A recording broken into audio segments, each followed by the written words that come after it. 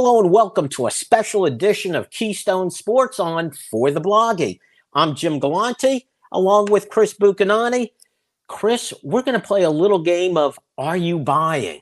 Got some trends that are going on in the first two games of the Penn State Nittany Lions season prior to this bye week. Want to see how serious you take these. Are you ready for me? Yes, sir. It's like the Amazon algorithms got its hooks into me, Jim, because I think I'm going to be buying a lot today. Go ahead.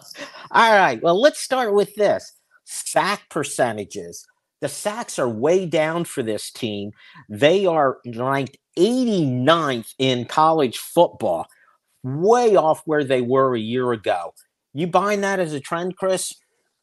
I think this is the toughest call of the topics we're going to cover today, Jim, for the pure reason that we've got such a small sample size to work from. But what are you going to do? You know, early bye week, you got to work with what you've got at your disposal.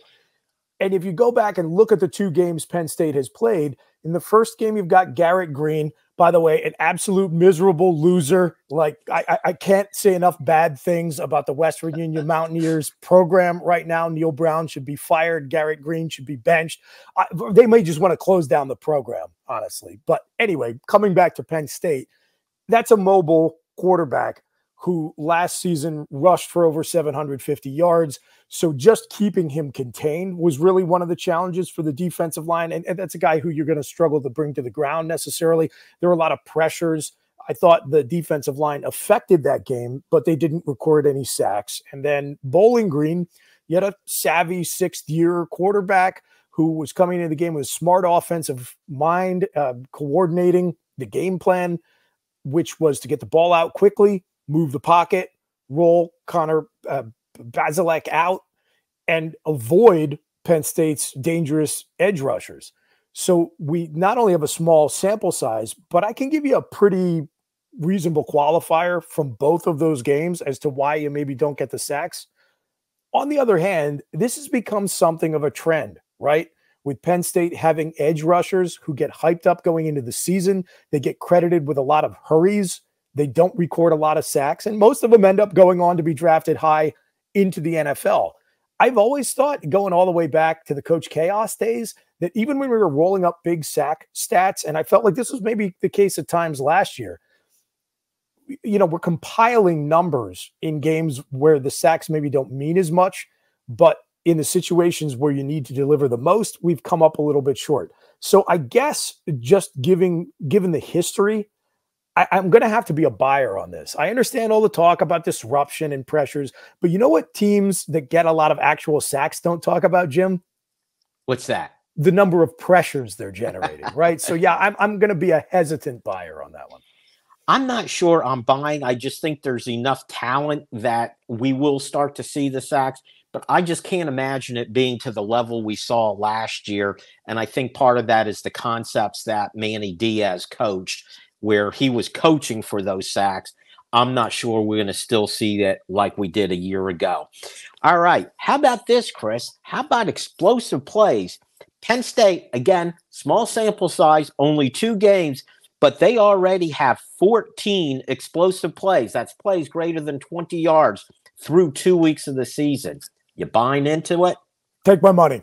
Enthusiastic buyer you look at the low numbers from last season, I think it was reasonable to just assume there would be some regression to the mean where you would just by natural mathematics end up with a few more explosive plays than we had last year. But then when you look at the first two games, the number of them you pair and, and, the way they happened, which was by design, and you pair that up with the fact that you spent a lot of money in the offseason to bring in an offensive coordinator for whom explosivity was his calling card. And also, uh, not for nothing, you look at what's missing with the Kansas football program right now through the first few weeks of the season. I think that gives you enough data points to look at this and look at the talent on the roster and look at the long track record of Andy Kotelnicki and what he's able to achieve with his offensive design and say, yeah, this isn't just happenstance. This is a trend. We can feel pretty comfortable. We'll continue on into the season. So I'm buying that one. I am too, Chris. And you could just see Andy Kotelnicki. He does take shots, uh, throwing the ball down the field. And with this running game now, you we saw it in the Bowling Green game. Uh, Kaytron Allen, Nick Singleton combined for eight rushes over 10 yards. Some of those are going to go for 20. Now, that's related a little bit to our next stat, which is the Penn State rushing game. Penn State is now gotten in the first two games average 228 yards a game rushing. That's the easily the highest in the James Franklin era. You're buying into that? Buy, buy, buy. Absolutely. Once again, enthusiastic buyer on this one, Jim.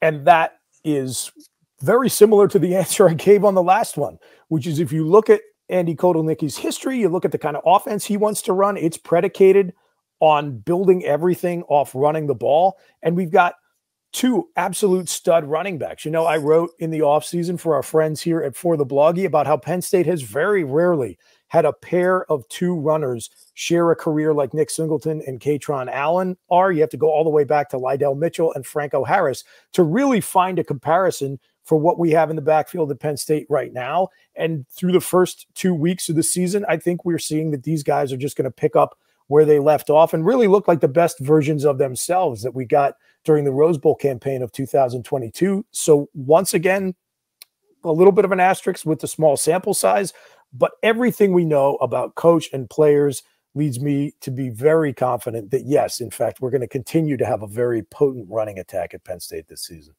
for me, there's not even the asterisk there for the small sample size. Very and fair. we've got Kent State coming up. A chance to pad these numbers, Chris. I'm buying this one like crazy. All right.